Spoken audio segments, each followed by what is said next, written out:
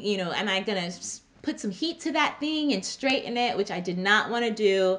Um, so I decided to wear my hair. Doing my dance, hey, I'm doing my dance. Don't mind me, I'm doing my dance. What's up, you guys? It's Adanna. Welcome back to my channel. For those of you who are new, please go ahead, take a look around. If you really like what you see, go ahead and subscribe. Follow me on Instagram at AdannaPA and make sure that you hit that notification bell on my channel so you can know every time I put a new video out. So I've gotten, I had this question asked to me like a while ago and then I got it re-asked to me like recently. So I wanted to just kind of make a video about it. Um, now this question is universal, even though I know that my ladies are the ones that are going to really be paying attention to this, but I'm going to be addressing how you should wear your hair for your PA school interview.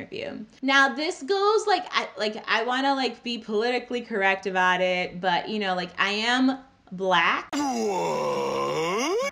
If you didn't know. and so for me, the struggle was I'm also black and natural, right? So my struggle was understanding like how do I want to wear my hair? Like did I want to wear my natural hair? Like um and and that was really like a concern. Like am I, you know, doing a twist out and and then if it's humid, like I'm thinking, all right, then this hair is gonna be like wide, or am I putting, you know, am I gonna put some heat to that thing and straighten it, which I did not want to do. So I decided to wear my hair pulled back. And I really think that that's like a nice way of wearing your hair anyways. I mean, if it works for the military, then um, I think PA school interviews is sufficient as well. And um, if you're not black, if you're Hispanic, if you're Caucasian, if you're Indian, um, whatever the case that may be, I think wearing your hair pulled back, you know, like kind of out of your face is actually like a good look to use for your PA school interview. If your hair is um, not as like poofy, I guess, or curly, your curls aren't as tight as, you know, you getting in a fro and you can wear it down with kind of a wet look, um, then I think that that is a good option as well. But you just have to take things into consideration like weather. So um, if your hair does not act well in the humidity, then make sure that you're not now like a frizzy mess, right? Also, with respect to the wet look, like you don't want this wet patch on your back.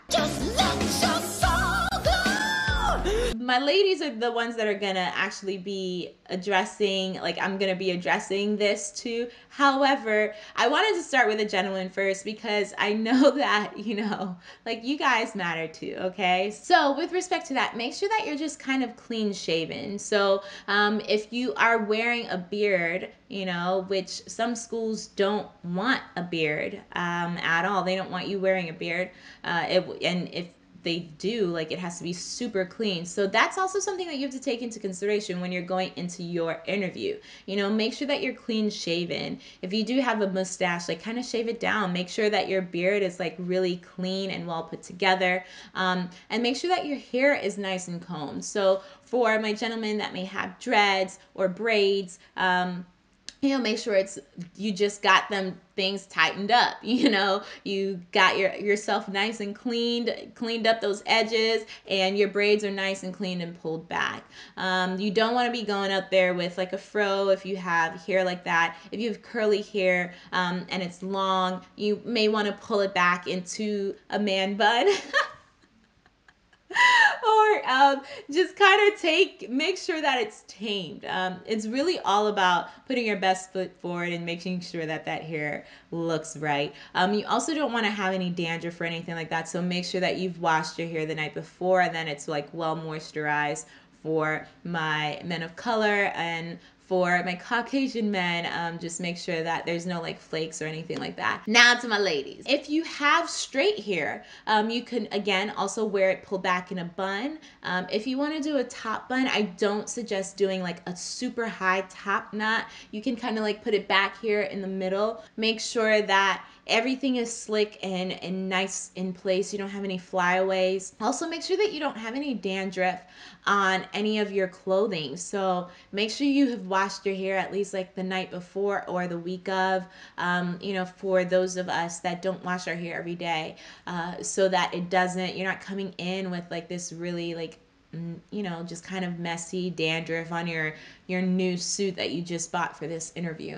If you have straight hair, you can wear it down. I suggest that you don't have the hair in your face. If you are wearing it down, kind of wear it like how I have my hair today, where you know, like it's part on the side, but you know, going back, or if you're doing like a middle part, make sure that it's you can like pull it behind your ear or you can like put part behind your ear and part on the side. But you want your face to be able to be seen but you don't want your hair to be a distraction. And so with all of these tips that i'm giving you all i think that is the most important takeaway. You don't want your hair to be a distraction. And so if your hair style is a distraction so color trinkets whatever it is that you're you're putting in. Like you know you don't want to go in with purple or, or pink here or blue here if that's what you have. So you know you want to make sure that these things are taken into consideration so that it's one less thing that they have to hold against you. Or they have to be like oh, okay well now nah, maybe she's not ready. Like she looks a little wild or he looks a little wild. I don't know if he's ready for this rigorous work that he'll have in um, cut out for himself through pa school. And so that's really important